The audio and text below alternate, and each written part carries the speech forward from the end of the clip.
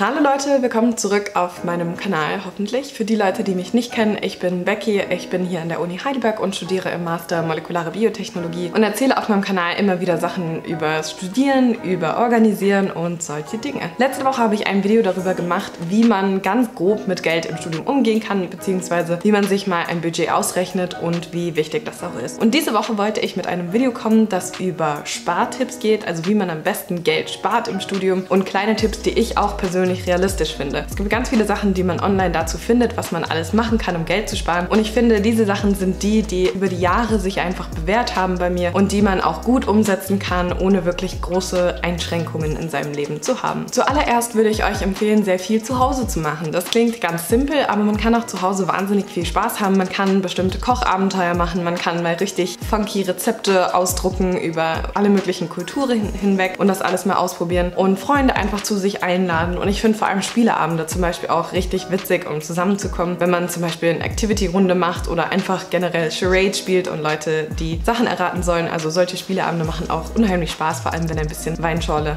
in der Sache involviert ist. Wenn man unbedingt Lust hat, auch was draußen zu machen, was ich sehr gut verstehen kann, vor allem jetzt gerade im Sommer, wobei heute es ein bisschen regnet, aber sonst ja sehr viel Sonnenschein ist, finde ich, sollte man Parks und öffentliche Orte gut ausnutzen. In Heidelberg speziell kann man zum Beispiel in den Schlosspark gehen oder man kann auf die Neckarwiese gehen. Es gibt einfach ganz viele öffentliche Orte, zu denen man hingehen kann, wo man selbst sein Essen mitbringen kann, wo man Picknick machen kann, wo man vielleicht mit Boomerang spielt oder irgendwie Fußball doch auf der Neckarwiese spielt oder sonstige Dinge. Also man kann sich auch draußen sehr gut ohne Eintritt zu zahlen aufzuhalten und vor allem aufzuhalten, ohne irgendwo doch was kaufen zu müssen, wenn man einfach seine eigenen Sachen mitbringt und so ein kleines Event aus den Dingen macht. Der nächste Tipp hat mir beim Studium sehr oft geholfen und zwar habe ich immer eine Things I Want Liste. Das bedeutet, wenn ich spontan den Drang Drang habe, irgendwas zu besorgen, möchte ich die Sachen meistens nicht direkt besorgen, weil ich erst evaluieren möchte, brauche ich das wirklich oder habe ich nur das Gefühl, dass ich es gerade brauche. Und dann habe ich eine Liste in meinem Kalender, die heißt Things I Want. Da trage ich das dann einfach ein, was auch immer es sein mag, damit es auch erstmal meinen Kopf ein bisschen verlässt. Und dann versuche ich so eine Woche mal drüber nachzudenken und mal zu schauen, ob ich eine Woche später immer noch der Meinung bin, dass ich dieses Ding brauche oder haben möchte. Wenn nicht, dann streiche ich es einfach weg. Wenn ja, fange ich an, damit Preise zu vergleichen, ob es vielleicht irgendwelche Sachen gibt, die preiswerter sind oder ob es sich lohnt, da einfach mehr zu investieren, je nachdem, was für eine Sache das ist. Und bevor ich es dann tatsächlich kaufe, schlafe ich dann immer noch mal eine Nacht drüber. Das heißt, das ist für mich so meine Methode, eben nicht impulsiv Dinge zu kaufen, sondern wirklich überlegt Dinge zu holen, die man dann auch wirklich braucht oder die man dann einfach so sehr liebt und so sehr möchte, dass man sie auch über einen längeren Zeitraum hinweg über sie nachdenkt. Vor allem für Studenten ist der nächste Tipp gut, eben die Sachen an der Uni auszunutzen. Also die Uni hat meistens wahnsinnig viele Angebote, zum Beispiel Mensa, die ganzen Cafés, die Unisportsachen, die alle kostenfrei sind oder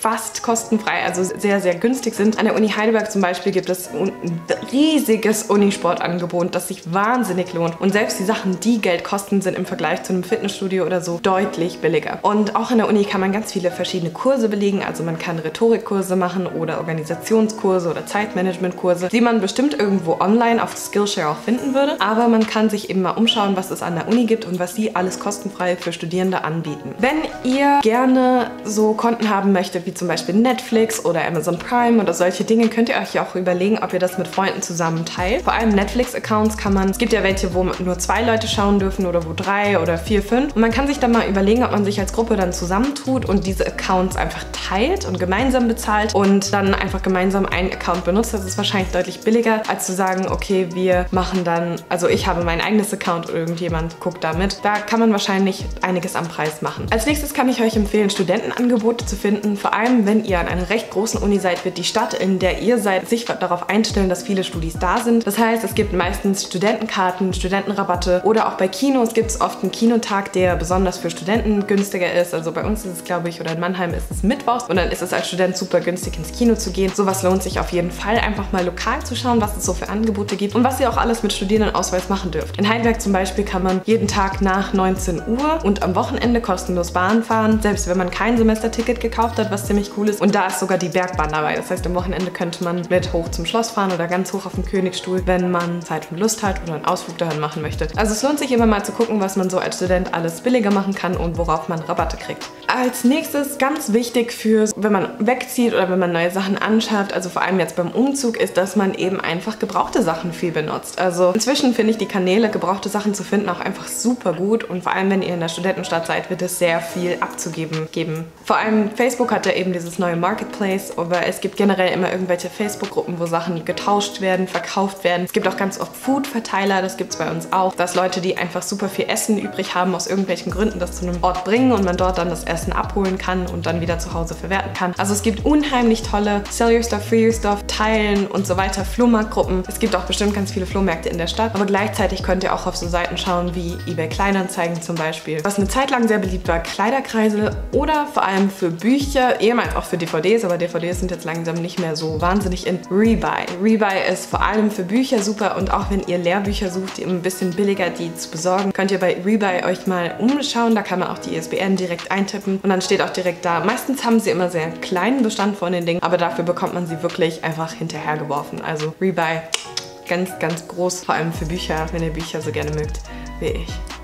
Ich finde es unheimlich wichtig, sich auch gut um seine Dinge zu kümmern. Das heißt, gut um seine Sachen, die man tatsächlich schon besitzt, vor allem die teuren Sachen. Es ist ein ganz einfaches Prinzip. Wenn ihr euch sehr gut um eure Sachen kümmert, werdet ihr sie nicht so oft wiederverwenden müssen. Und ja, es ist ein ganz einfaches Prinzip, aber irgendwie machen wir es doch alle nicht so sehr oder viele machen Leute machen es nicht so sehr. Der nächste Punkt fällt wahrscheinlich ähnlich unter die Punkte, die ich ja vorher schon erwähnt habe, aber einfach ein bisschen kreativ werden. Man kann auch ohne Geld auszugeben coole, witzige Sachen machen, die vielleicht ein bisschen unkonventioneller sind, also irgendwelche Radtouren vielleicht machen in die Umgebungsstätte. Ihr könnt mal gucken, womit ihr mit eurem Semesterticket überall hinkommt und mal in eine andere Stadt fahren. Ihr könnt Inliner fahren gehen oder so. Das habe ich auch irgendwann mal im zweiten, dritten Semester ein paar Mal mit Freunden gemacht und es war super witzig. Also es war einfach mal was ganz anderes. Man kann auch mal versuchen, in seiner eigenen Stadt ein bisschen Touri zu sein, also zu sagen, okay, ich gucke mir jetzt alle Museen an, ich gucke mir jetzt alle super Attraktivitäten an. Also seid ein bisschen kreativ, denkt euch ein paar Sachen aus. Es gibt gibt immer coole Sachen, die ihr auch für wenig Geld machen könnt. Man muss sich einfach ein bisschen mehr drüber nachdenken und sich ein paar mehr Gedanken machen, wie das denn wirklich so läuft. Aber vor allem, wenn man gut planen kann, kann man echt viele Sachen machen, die einfach super viel Spaß machen und nicht so teuer sind. Als nächstes, ich bin ein Typ, der super gerne ausmistet. Also ich glaube, ich misste alles halbe Jahr aus und gucke wirklich durch, was sind die Sachen, die ich noch brauche, welche Sachen habe ich nicht mehr angehabt, was habe ich nicht mehr benutzt, benutze ich das in Zukunft nochmal, um wirklich regelmäßig zu schauen, okay, die Sachen finde ich blöd oder die die möchte ich nicht mehr haben. Und Sachen, die es vielleicht noch wert sind und die man nicht so sehr liebt, kann man auch super einfach verkaufen. Wie ich eben auch erwähnt habe, kann man gebraucht super viel finden. Genau so könnt ihr gebrauchte Sachen einfach verkaufen. Und selbst wenn ihr denkt, oh, ich glaube, keiner zahlt mir dafür Geld, dann, ich meine, selbst wenn man ganz kleine Summen dafür verlangt, sagen wir mal, ihr habt 10 Tops und ihr sagt für jede Top einfach 5 Euro oder so, dann habt ihr mal 50 Euro verdient. Also es lohnt sich manchmal auch, sich die Mühe zu machen, es abzufotografieren und irgendwo reinzustellen. Würde ich euch empfehlen, wenigstens zu probieren, ungeliebte geliebte Sachen wieder weiter zu verkaufen. Ihr solltet auch ansehen, ob Anbieter, die ihr benutzt, bestimmte Recycling-Programme benutzen. Also bei Apple haben sie ja dieses Recycling-Programm, was ich super finde. Ich habe mir dieses Jahr ein neues iPad geholt, das mit dem Apple Pencil kompatibel ist und habe dafür mein altes iPad eingetauscht und konnte dann quasi 100 Euro vom Preis runterbekommen, einfach nur weil ich mein altes iPad eingetauscht habe. Also manchmal lohnen sich so Programme auch. Ich bin mir sicher, ich hätte ein bisschen mehr Geld bekommen, hätte ich mein altes iPad so am freien Markt verkauft. Aber es war so unkompliziert, es einfach da abzugeben und ich weiß, okay, sie recyceln es, sie benutzen das Neue, sie machen das auf jeden Fall alles richtig. Deswegen, solche Sachen lohnen sich auch. Überlegt euch, was ihr recyceln könnt und was ihr verkaufen könnt. Das war's heute mit meinen 10 Tipps zum Sparen. Ich hoffe, es hat euch geholfen. Schreibt auf jeden Fall gerne in die Kommentare, was ihr so für Tipps habt für andere, um ein bisschen Geld einzusparen und was man alles so machen kann. Vielleicht habt ihr auch einfach coole Ideen, was man alles so für Umme machen kann. Ich höre auf jeden Fall immer ganz gerne von euch. Schreibt es in den Kommentaren. Wenn das Video hilfreich war, dann liked gerne. Und wenn ihr euch für die Themen Studium, Organisieren und so weiter gerne generell interessiert, dann subscribe doch einfach, dann verpasst ihr keine einzigen meiner Videos mehr. Dann sehen wir uns